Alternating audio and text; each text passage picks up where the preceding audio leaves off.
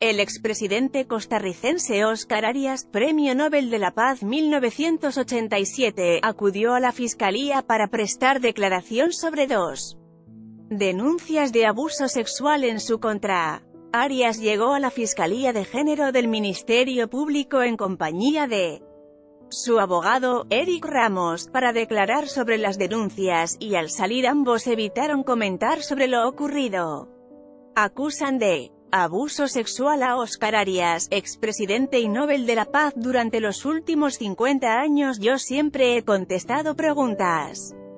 sobre cualquier tema y hemos tenido una relación cordial con los periodistas pero en esta oportunidad mi abogado defensor me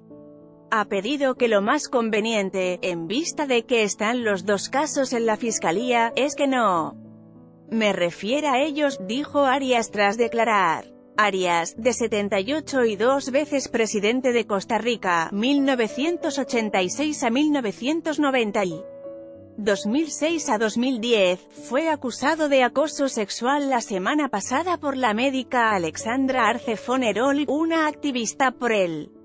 desarme. El hecho habría ocurrido en 2014, pocos días después, la ex Miss Costa Rica Yasmín Morales, una filóloga de 48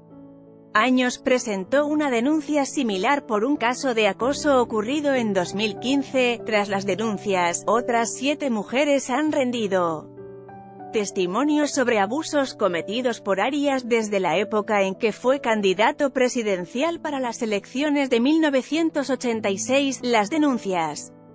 han golpeado la imagen de Arias, la principal figura política de Costa Rica, y lo obligó a suspender su militancia